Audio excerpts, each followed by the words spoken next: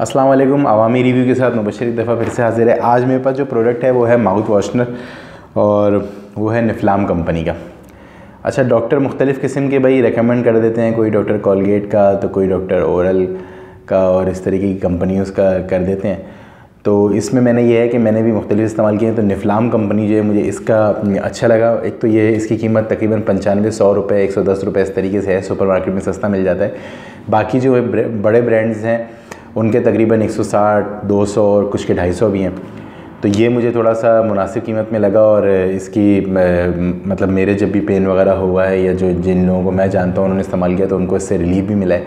इसका इस्तेमाल करने का बहुत ही आसान तरीका है इसको आप लें कैप में तीन चार ड्रॉप डालें फिर पानी मिला दें और कुल्ली कर लें।